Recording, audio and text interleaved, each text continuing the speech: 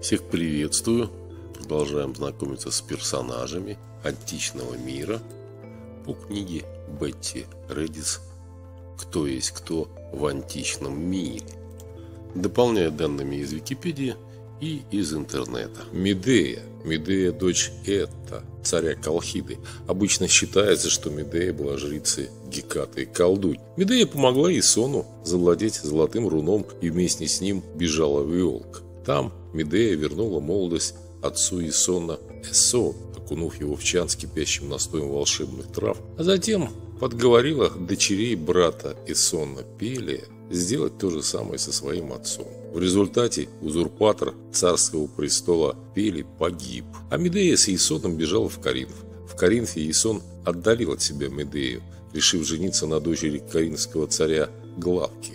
Медея отравила Главку и ее отца, послав им в дар пропитанные ядом мантию и диадему, а затем, убив своих двух сыновей, детей Исона, умчалась в Афины на колеснице, запряженной драконом. Павсани описывает гробницу сыновей Медеи в Каринфе и передает легенду об их гибели. Пиндар ничего не говорит о злой натуре Медеи.